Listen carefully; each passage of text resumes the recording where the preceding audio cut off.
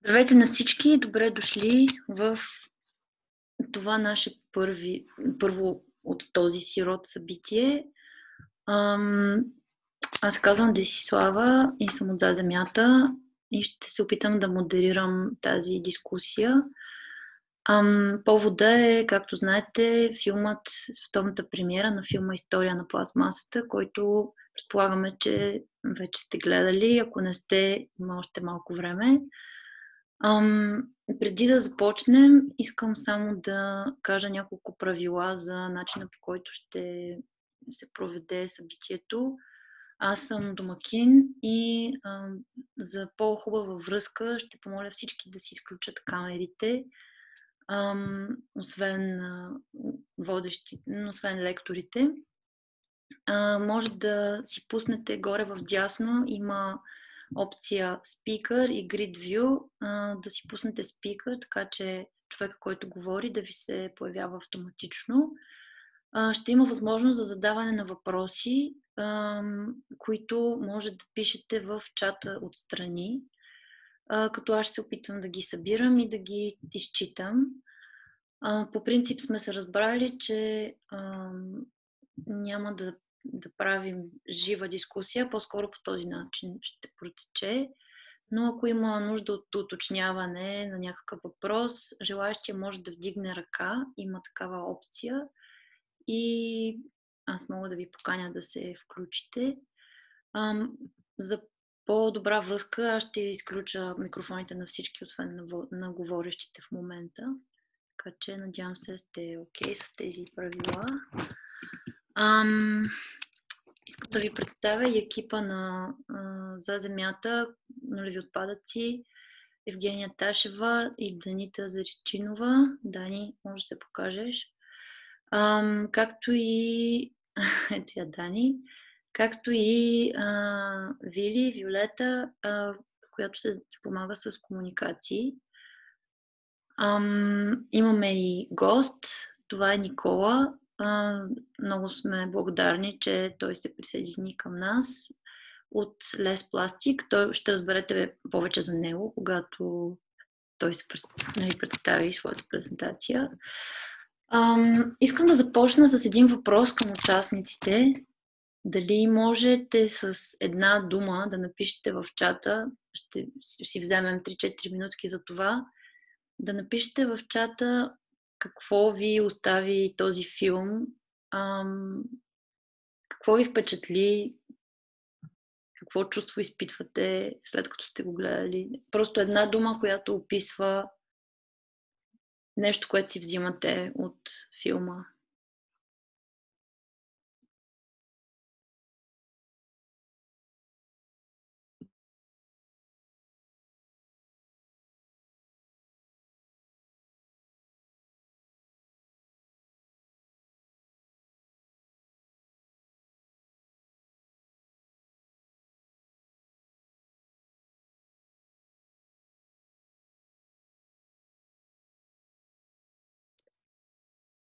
Който не е ползвал чата на Zoom, долу пише чат между participants и share screen.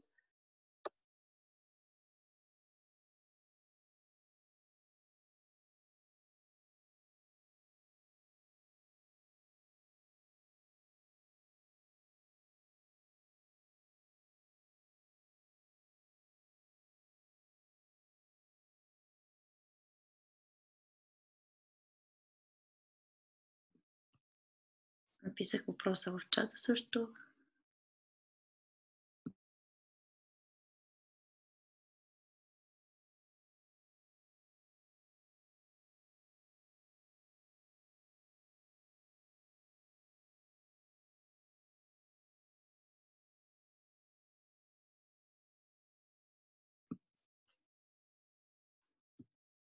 доста разнородни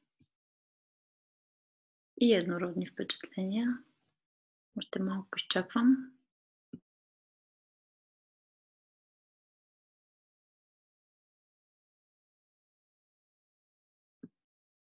Предполагам всички виждате, но надежда, достоверност, промяна, предизвикателство, мотивация, промяна сега, история, промяна отново, решения и действия, радикални мерки, има и по-решителни хора.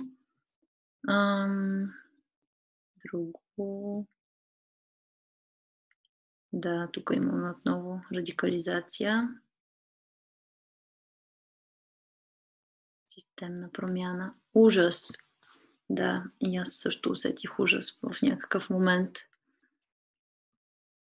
И същото чувство изпитах, че трябва да, да стигнем до повече хора. За това ви благодаря, че се включвате. И бих искала да дам думата на Никола от Лес Пластик, който ще ни разкаже малко повече, а, освен за пластмасата и за неговия опит, а, наблюдения в Черно море. Здрасти, здрасти, здравейте. А, подготвил съм ви няколко слайда, които много, много искам да ви покажа и които може би евентуално да обсъдим последствие. И ще започна с една кратка презентация и ще видим какво ще се получи. Така. Момент. Надявам се да виждате екрана ми. Добре. Момент. Така, накратко, казвам се Никола Бобчев, все още съм студент. 7 години живя в Германия, но в момента съм в България и подготвям магистърската си теза, която също ще е свързана с замърсяването с пластмаса в Черно море. Бакалавърската ми работа също беше с, свързана с замърсяването с пластмаси и главно сезонните, пластмасата през различните сезони по време на примерно през лятото, зимата и есента, при устието на река Ропотамо. Тук отдолу съм написал имейла ми, в случай, че има някакви въпроси или просто искате да, ми, да пишете, да ми питате нещо за мен или за какво се занимавам. Ам,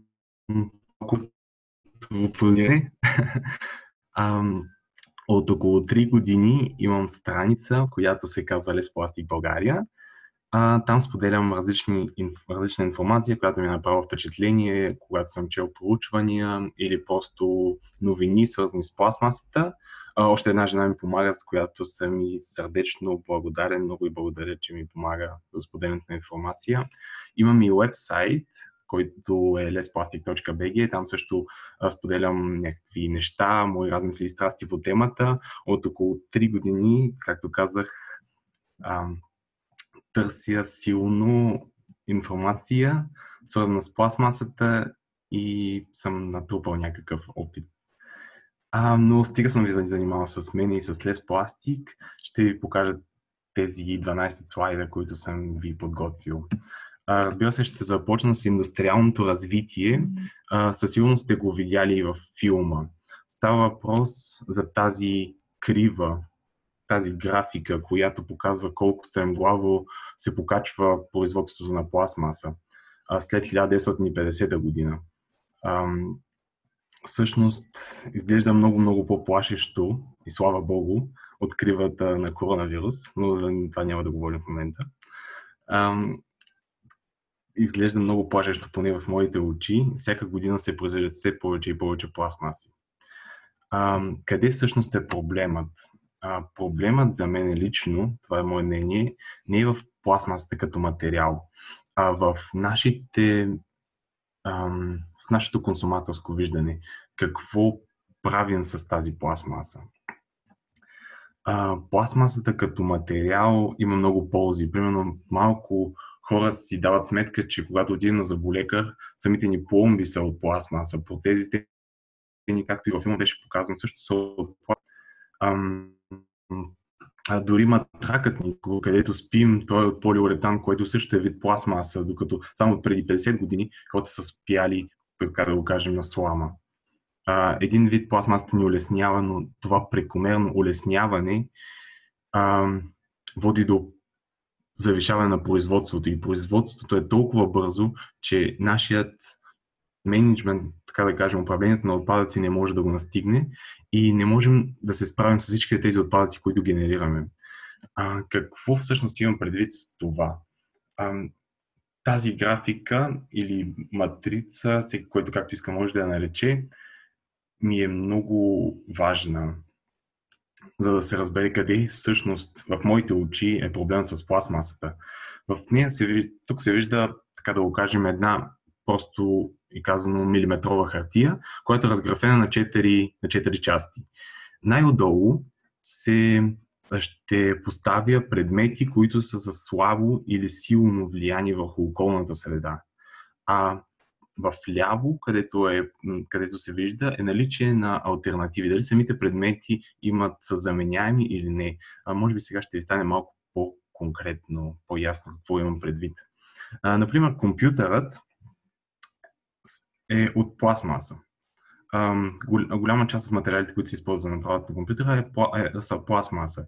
Този вид материал има слабо влияние върху околната среда, но е трудно заменяем. Тоест не можем да правим компютъра от друг, от друг вид материал. Ам, и в този конкретен случай компютърът, като че, говорим чисто и просто за пластмасата, която се използва за направата на компютъра, не влияе особено много върху околната среда. Ам, друг пример. Ам, не знам дали виждате мишката ми а, тук горе ПВЦ тръбите. Те, те са лесно заменяеми, имаме много альтернативи на тръби ам, и имат същевременно слабо влияние върху околната среда. Ам, има и предмети, които са с високо влияние върху околната среда и са трудно заменяеми. А, това са, например, подметките от обувките ни и автомобилните гуми. Те също са от един вид изкуствен материал, или така да го кажем пак, под вид пластмаса. И може би малко хора си дават сметка също, че... Не, също, всъщност, евентуално сте запознати по-голямата част от вас, че подметките и автомобилните гуми са едни от основните източници за замърсяването с пластмаса. и мога да изподеля проучвания в последствие, ако имате желание, именно, че, че точно тези два предмета са с основно значение при замърсяването на околната среда, но те са и трудно заменими. А, още един предмет, който лично мен а, ме вълнува и поражда един вид парадокс или тема за, за дискусия, са хигиените пличета за домашните ни любимци. А, тях има. За тях има альтернативи, но не са твърде много или пък хората не са склонни да ги използват. И те имат огромно влияние върху околната среда. И аз често се питам дори сем себе си, когато се разхождам кучето, какво е по-вредно всъщност. Дали когато съм в гората да взема а, органичните отпадъци от кучето ми в пластмасова трубичка и да ги изхвърля на правилното място в кофата за буклук, като тази пластмасова турбичка, разбира се, няма да бъде рециклирана, защото е замърсена, а и поради ред други причини, просто някой е, е невъзможно, или просто да го оставя там. Но това е много обширна тема, която може би ще дискутираме някъде другаде. А, и ето най- ам, важната графа, в която искам да се концентрирам. А, това са тези пластмаси, които са лесно заменими. За тях имаме альтернативи и дори от някои от тях можем да се лишим напълно. И те имат същевременно високо влияние върху околната среда. Това са сламки, турбички, капсули за кафе, прибори, съдове. Именно тези предмети са с огромно влияние върху околната среда и имаме альтернативи. Просто там трябва да се концентрираме, за да направим промяната. Ам, може би тази графика ще онагледи малко а, още повече какво искам да кажа. През 2016 година в Европейския съюз са използвани 50, близо 50 милиона тона пластмаса за направата на различни продукти. Като 40%, да, 40% от тях са използвани за направата на пластмасови опаковки. Това са близо 20 милиона тона. 20 милиона тона за направата само на опаковки, които имат ниско полезно действие и се използват за не повече от 6 месеца, защото може би ам, ще се съгласите, че един чипс не стои в нито един магазин повече от 6 месеца. Той се консумира и се изхвърля. Ам, къде всъщност е проблема? Според Пластик Европа, което е сдружението на производителите на пластмаса в Европа, с днешните технологии в Европа могат да се рециклират между 35, 35 и 50% от пластмасовите опаковки. Какво ще рече това? Поне към 2016 година. Защото това е изказано от 2016 година. А какво ще рече това? Че дори и ние да правим всичко възможно, да събираме пластмасите разделно, да ги събираме чисто, да не са замърсени, те просто чисто технологично или поради липса на инфраструктура не могат да бъдат рециклирани. Това показва и следната графика. Няма смисъл да вникваме и да четем точно в детайлите, после ще ви преразкажа набързо, за да не губим от дискусията. Става въпрос за гръмкото заглавие, че държавите, които са забранили депонирането, имат по-високи нива на рециклиране. Но това всъщност не е така. България отново е в дъното на класацията, но вижда се ясно зелените, зелената част, че нито една или по-скоро почти всички държави, с изключение на две, рециклират по-малко от 40% от пластмасовите си отпадъци. Тоест всички сме на едно ниско ниво на рециклиране в цяла Европа.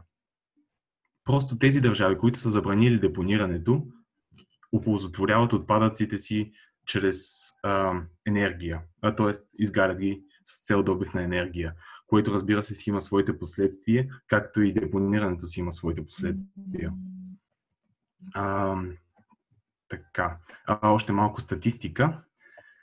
А, какво се случва в Европа? За 2016 година 27,1 милиона тона пластмаса са изхвърлени в, тон, в, в, в, в кофите за буклук. 41,6% е изгорена с цел добив на енергия, 31% е рециклирана, като 63% от тях в Европа, а 37% е експортирана извън Европа. 27,3% са депонирани. Интересно е да видим и какво се случва в България.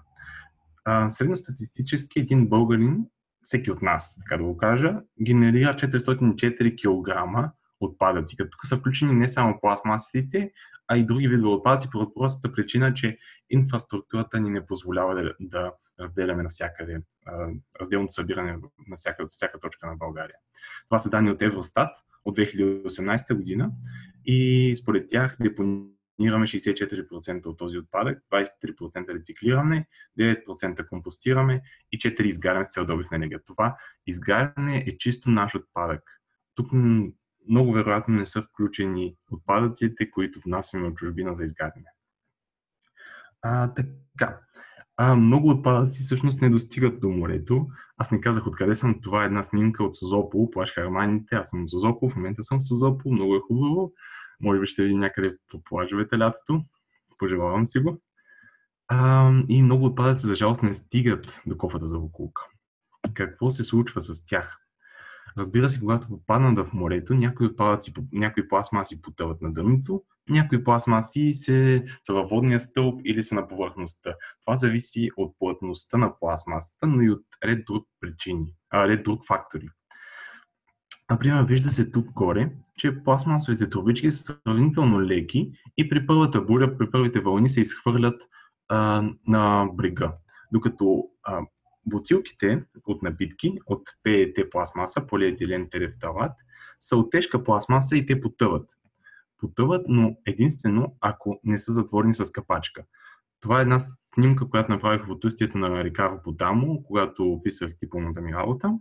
И тя става, на, т.е. тук се виждат много пластмасови бутилки, които са затворени с капачка. Тоест, когато пластмасовите бутилки са, съдържат въздух, те стават плавателни и също биват изхвърлени от морето.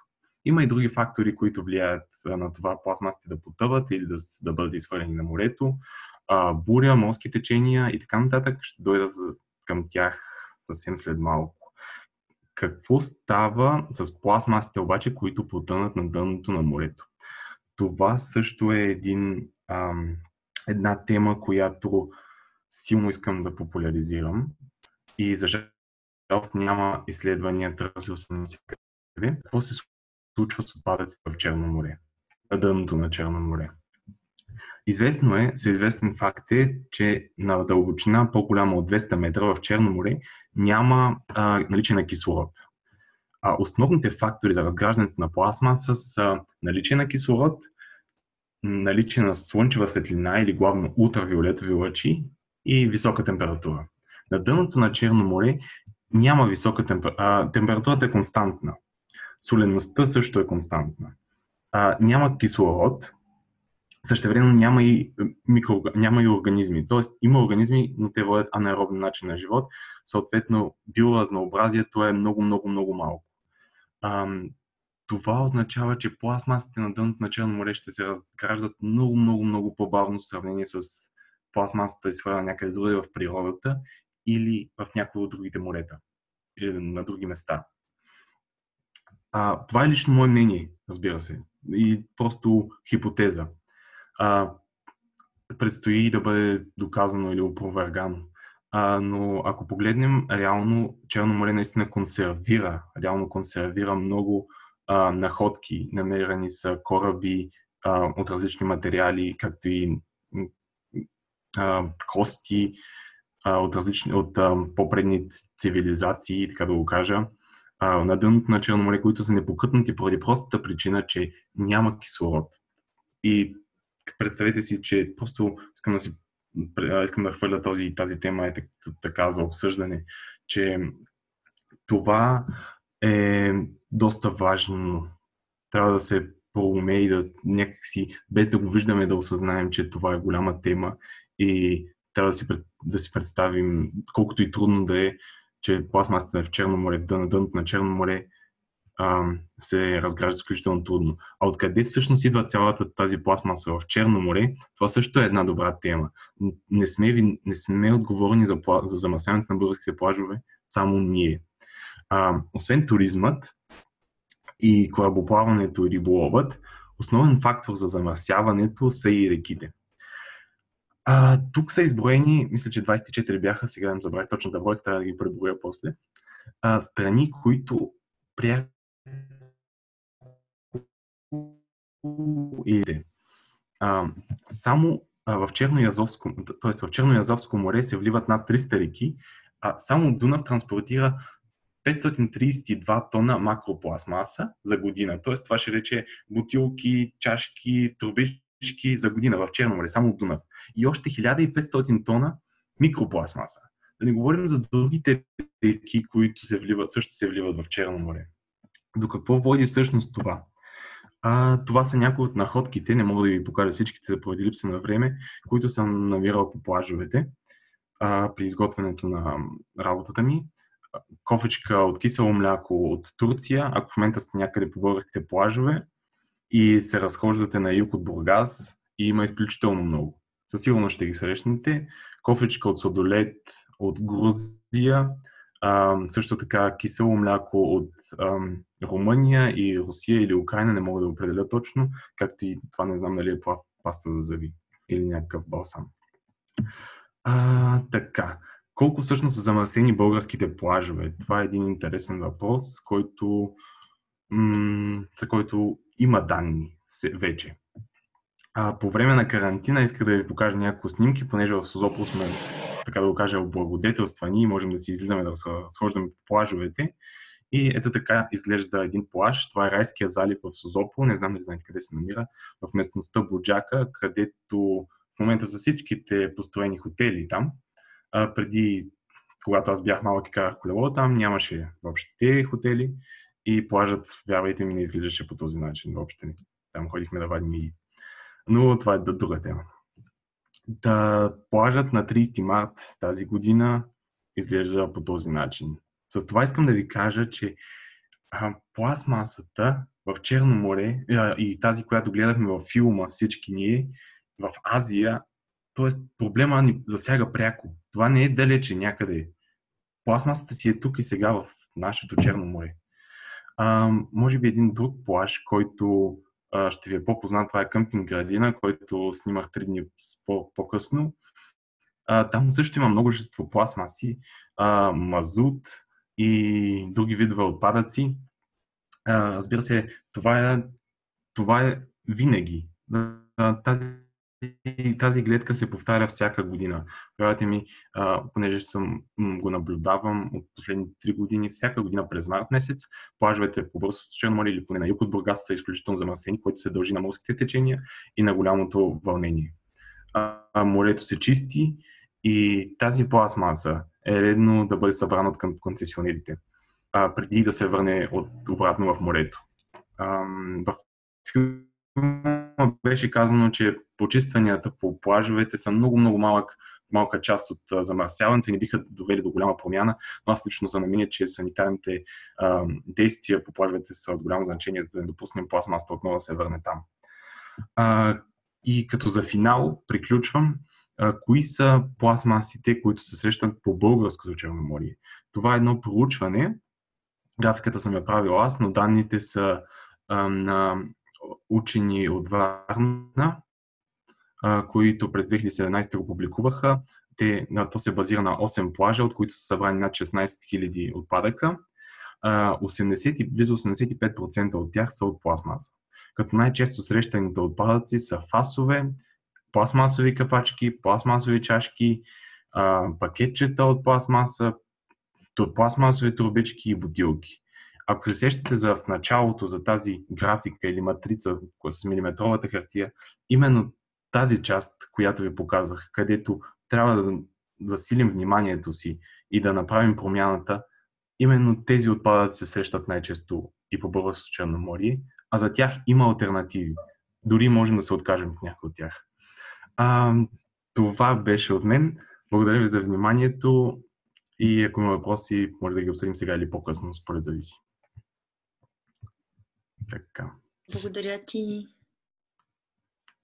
Благодаря ти, Никола, а, за тази много интересна презентация и а, съм особено впечатлена от зимните снимки на морския бряг. А, за съжаление, това, което видяхме на филма, го виждаме и, и, и тук. А, сега ще дам думата на а, Жени Евгения Ташева от За земята и след това ще имате възможност да, да дадете въпроси и, или да споделите впечатления в чата.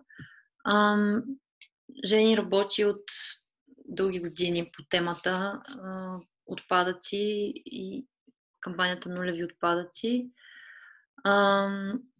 Тя може би ще каже малко повече сама. Жени? Тук съм. Нека да се и покажа. Да. Здравейте и много ви благодаря за интереса към тази болезнена тема. Надявам се и все повече хора да, да чуват и да усещат, че това е проблем. А, няма да преповтарям това, което сте видели. Само ще преговорим много накратко основни неща, които мен ме впечатлиха лично във филма и, и по принцип по темата. Вероятно ще има припокриване с това, което сте видели в самия филм и това, което Никола каза, но мисля, че е хубаво за да направим някои по-големи изводи. И така, споделям екран. Надявам се да се получи. Добре. А, да, пластмасата, както сами видяхте, има един таен живот, който започва доста преди да попадне в нашите ръце като потребители и след това продължава доста след това. И, и, и, и двата края не са особено приятни, а всъщност и средата не е особено приятна, както става все по-ясно. Какво имам предвид? Ясно е, че сме заобиколени от пластмаса. Повече докосваме пластмаса, отколкото, примерно, домашни любимци или близки хора дори. А, това не значи, че материала сам по себе си е нещо лошо, а, но трябва много сериозно да се замислим за смислените употреби на пластмасата, предвид нейните качества. Основното качество нейно, което е проблемно в момента и което е причината пък тя да бъде толкова масово вкарана в употреба от промишлеността, е, че тя е много траен материал, който се поддава на всякакви осветявания, може да има всякаква твърдост, мекота и така нататък. Супер, супер универсален материал и много ефтин. Но, както разбрахме, съдбата на всички пластмаси, произведени от самото начало на тази промишленост до ден днешен, много, много малък процент от тях всъщност живеят дълго или биват рециклирани. По-голямата част някъде замърсяват. Дали това е в океана, дали е пластмасата наистина навсякъде. Мисля, че всички се наслушахме на новини последните 3-4 години на това как е намерено пластмасови, микропластмасови частици в бутилираната вода, в най-отдалечените кътчета на света, като Марианска падина, Арктическия лед. Но всъщност, огромно, колкото и внимание да се обръща на океаните на моретата, страшно много пластмаса има заровени в нашите почви и то не само от сметища. Просто това вече се превръща в един геологически слой, който археолозите от бъдещето, ако го разроят, нали, ще стигнат до извода, че ние живеем в, сме живели в а, ерата на пластмасата. Ам, а как стига до нашите тела? Мисля, че това също е важно да се има предвид. Микропластмасите, които ние вдишваме, пием и поглъщаме чрез а, всичко, което ни заобикаля. Включително дрехите, като полари и така нататък. Това са рециклирани на по-низко ниво бивши пластмасови бутилки много често, но за съжаление тъканите направени от полиестер а, доста, са, са доста сериозен проблем и в океаните всъщност се откриват страшно много вълсинки от тях. Тоест, всяко пране на вашите пластмасови дрехи, на нашите синтетични дрехи, отделя в околната среда страшно, страшно много тези много, много малки частички. Да, факти. Другия начин, по който, разбира се, сме в досек и това е за мен основния проблем и основ, основната възможност за действие и лично, лично предприемане на някакви действия, това са пакетираните храни и напитки. Много някакси лесно ни залъгаха с това ново удобство. Хората малко по-възрастни, нали, като мен, които си спомнят времето, примерно от 80-те години на миналия век, нямаше изобщо и пластмасата беше също толкова ценена, колкото и стъклото, колкото и порцелана. Има ли пластмасова трубичка или бутилка, те се пазят и се мият и така нататък. Не, че препоръчвам това в наши дни. Но, но просто да, контрастът е важен. Не страшно бързо се случи това нещо. И разбира се, има въздействие отвъд хората което мисля, че всички сте виждали тъжните костенурки, птици и други неприятни картинки и китове дори. Но просто не трябва да го забравяме, наистина. Не сме само ние. Пластмасата е климатичен проблем от самото начало на жизнения си цикъл до края, чрез добива и производството, чрез изгарянето на пластмасови отпадъци и, и попадането им в океана, което също нарушава възможността му той да складира въглероден диоксид. И сега стигам до основното нещо, което се надявам някакси да, да излиза за повечето от нас като идея от този филм. Защото за мен беше страшно така интересно да погледна от другата гледна точка. Твърде много се говори как хората не искат, не могат, не разбират и не желаят да рециклират или да използват по-малко пластмасови изделия. Но, но всъщност се оказва, че този дискурс или нали, тази теза някак си е доминираща, просто защото се финансира от промишлеността, която предлага пластмасови изделия и опаковани в пластмаси изделия. Но всъщност тази гледна точка пренебрегва изцяло, както виждате тук на, на тази карикатура, имаме океана или нали, морето пълно с отпадъци, имаме и домакинствата и хората като потребители в картинката и ето казва се, че всъщност това е резултат от лошо поведение а, на всички нас, но всъщност се крие първата част от картинката, която е производството. И ако погледнем планираните, известните планирани ам, разширения на, на различни бази за производство на пластмаса по света в момента, те, не, те ще растат много повече. Продължават да растат. Тоест няма планове тази промишленост да свива своето производство на, на девствена пластмаса, т.е. на първична пластмаса. Точно обратното. И всъщност излиза, че май до, как се нарича това? Търсене и предлагане. Предлагането изпреварва търсенето и, и използва всякакви маркетинг подходи, за да ни пробута всичко, което може, опаковано в пластмаса. И това, за съжаление, виждаме дори в момента а, на, на пандемия, в който пластмасовата промишленост отново стъпва така напред с желание, примерно, да се отложат или отменят голяма част от мерките, предвидени за намаляване на пластмасовото замърсяване а, в Европа, да кажем, но не само и в други страни по света това се случва. А, Що се отнася до това, което видяхме и във филма, просто да затвърдим отново, твърди се много често от така привържениците на пластмасата, че основното замърсяване в океана всъщност идва от няколко много големи азиатски, африкански реки. Но както сами видяхте и надявам се се убедихте, проблема е това, е, това всъщност е нещо, което не е причина не е причинено от потреблението в тези страни, а е резултат от това, че при тях, не само от потреблението в тези страни, искам да кажа, но, но е резултат и от това, че там се внасят за рециклиране или за ефтино изхвърляне, буквално, пластмасовите отпадъци от Европа и от Северна Америка масово. И така, всъщност, да стигнем до същността. А, надявам се, че този филм ви е провокирал да мислите а, дори какво вие самите може да направите а, за, за това отвратително нещо, което се случва бъдещето на пластмасата определено трябва да бъде преосмислено от гледна точка на това за кои употреби има смисъл да бъде тя ползвана. И що се отнася, както и видяхме от много хубавата графика на Никола, що се отнася до, до кратковременните употреби като опаковки за напитки, за храни, чашки, кутийки, сламки, турбички, това, неща, това са неща, които имат много добре известни, отдавна съществуващи альтернативи. Те са били заменени от промишлеността за да спести средства, защото в момента има едни такива некалкулирани външни разходи от, от пластмаста, това, че тя се изгаря или изхвърли някъде на сметище, или дори просто замърсява някъде околната среда. Тази цена, така да се каже, тази щета се понася от хората, които живеят близо до тези места. И разбира се, от всички нас като а, поглъщащи доста големи количества пластмаса. Това е нещо, което трябва да се промени, разбира се. И така, а, чухме доста в последната година за директивата на Европейския съюз за намаляване на вредите от еднократните пластмаси. И в началото телевизиите у нас доста така гръмко обявиха, че се забраняват пластмасите и край какво ще правим.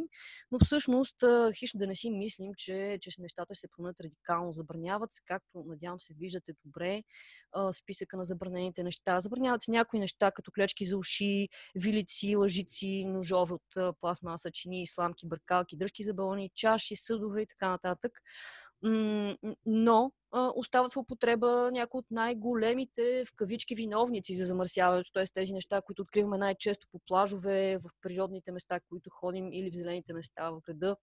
Бутилките, чашките, турбичките, мокрите кърпички, цигарните филтри и въобще всякакви пластмасови паковки от чипсове, вафли и подобие. Те няма да бъдат забранени. Това трябва да е ясно. Тоест от юни до година се забраняват само нещата от списъка в ляво. Но има, има все пак светлина в тунела, защото тази директива предполага, не задължава всъщност, да се осъществи разделно събиране на най-малко 90% от еднократните пластмасови бутилки на пазара. Това е много, много сериозно. В момента по данни на Българската асоциация за безалкохолни напитки, така неофициални данни, разбира се, се събират 10-15 отпуснатите на пазара такива опаковки у нас.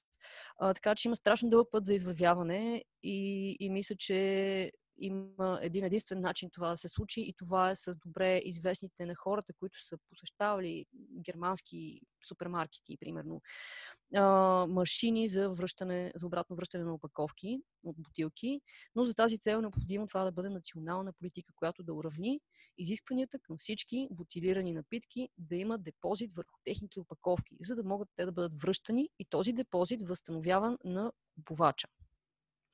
От 2030 година, освен това, най-малко една трета от, държани, от а, материал в пластмасите бутилки трябва да е рециклирана пластмаса. Така че това е идеята, очевидно, нали, да, се, да се наблегне повече на рециклирането, да се задължи и използването на рециклиран материал, за да се отвори още повече пазар за него.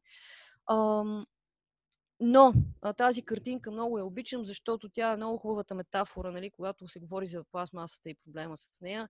Всички казват ми, трябва да рециклираме повече. Или не всички, но някои казват, трябва да рециклираме повече. А, но това е равносилно все едно да се опитваме да изгребем водата, докато крана е пуснат на максимална сила. Ясно е, че няма как да стане. Производството просто изпреварва дори бъдещата проектирана способност да рециклираме повече, при всички положения ще бъде изпреварена от това, което се бълва. Нещо по-интересно, може би, от гледна точка на българския потребител, каквито сме всички ние, направихме в началото на годината едно обществено изследване, общественото мнение, което е представително за страната. И там зададохме въпроса на хората кой трябва да поема отговорността за решаването на проблема с замърсяването с пластмаси.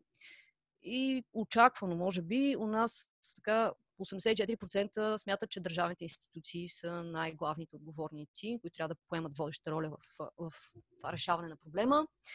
Uh, над половината смятат, че са потребителите или цялостното население на България. Ето виждаме, че нали, работи тази пропаганда на промишлеността. Хората сами се смятат за виновни, uh, което, нали, разбира се, е и така.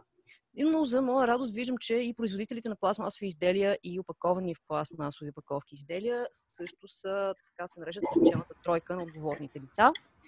А, и затова съм поставила тази картинка. Това е много, много често ползван от Greenpeace подход, а, когато се правят почиствания или когато намират отпадъци на странни места, а, да, да посочват директно производителя на, на продукта. Още съвсем малко от анкетата, която проведохме, хората казват, така над половината от хората използват турбички, бутилки, мокри кърпички и чашки. Най-склонни са повечето хора да се откажат, така над половината от, от питаните, са склонни да се откажат от турбичките и от бутилките, което е супер. А, и над 40% се склонни се откажат от а, там още няколко вида бутилки. Виждате ги, са различни. Най- най-лесно се отказваме явно от безалкохолните напитки, вече е по-трудно отбирате водата и млякото. И от чашките. Това е супер надеждаващо, защото а, у нас има сериозно, извинявайте, има сериозен проблем, който, ще стигне след мъничко, с чашките специално. А, още от изследването хората масово смятат и са съгласни с това, че пластмасовите отпадъци не трябва да бъдат изгарени и не трябва да бъдат депонирани. Отляво се вижда, процентите са над 90% или точно 90% съгласни с това, че не трябва да се изгарят и 86% са съгласни, че не трябва и да се депонират. А, масово хората смятат, че трябва да имат удобно разделно събиране до вратата, до дома. И това е особено смислено при положение, че статистиките сочат, че близо 60% от общите битови отпадъци са опаковки. Това означава, че ние, половината ни контейнери трябва да бъдат за разделно събиране на практика. А, последното нещо, за което исках да кажа всъщност и за чашките, това е, че а, много голяма част от хората смятат, че образователните институции, като училища, детски градини, университети, трябва да ограничат използването на еднократна посуда за храни и напитки. Но, за съжаление, у нас в момента не, тъй като няма. А, не работят детските градини в момента, но докато работят, всяка детска градина, държавна, с много малки изключения, бълва количества еднократни чашки, за, с които децата пият вода и други напитки. А, така че от тук исках директно да премина към нещо хубаво, защото още от 2017-2018 година с колегите от Greenpeace и от Обществен център за устойчиво развитие и околна среда във Варна а, започнахме една кампания точно насочена към детските градини, към родителите, а, с идеята да им помогнем да престанат да дават средства, защото тези чашки се плащат от родителите на всичко отгоре, да престанат да дават пари а, на буклука, буквално, и да закупят чаши, които са индивидуални за всяко едно дете и се за многократна употреба могат да бъдат стерилизирани.